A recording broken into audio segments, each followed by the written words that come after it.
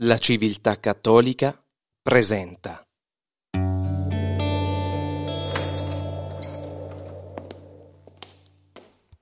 Abitare nella possibilità. Tutti i racconti di Javier Marias di Diego Mattei.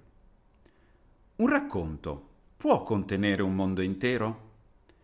I più grandi scrittori in poche pagine abbracciano vite intere. Tra questi possiamo considerare Javier Marias, uno degli autori spagnoli contemporanei di maggior spicco, del quale da poche settimane è uscita la raccolta dei racconti, che con molta sobrietà si intitola Tutti i racconti. La silloge è uscita in Spagna già nel 2012, ma solo oggi ne disponiamo in traduzione italiana.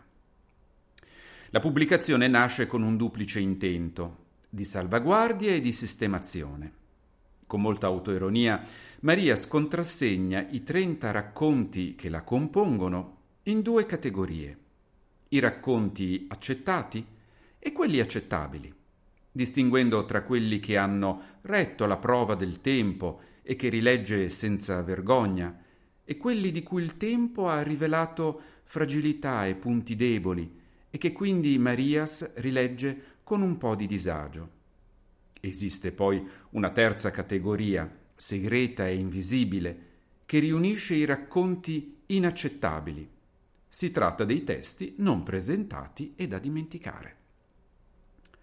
Tutti i racconti riunisce i testi che rappresentano agli occhi del loro autore il meglio di quanto ha scritto.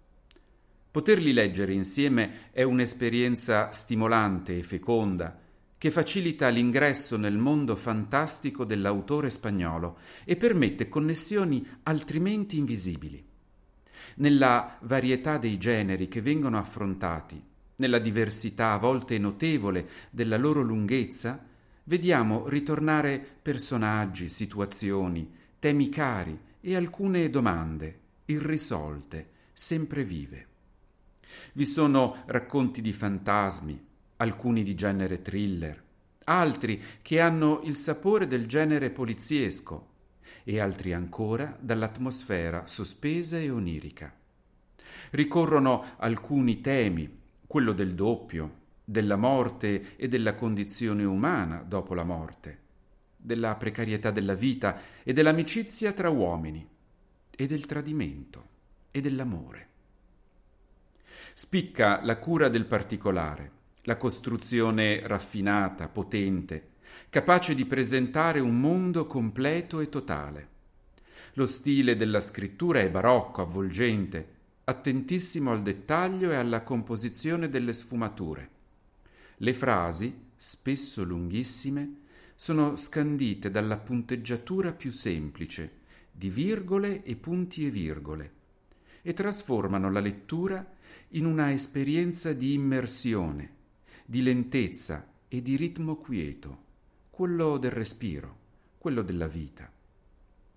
I quattro racconti che ci permettiamo di segnalare sono Quando ero mortale, Sangue di lancia, Malanimo e Nel tempo indeciso.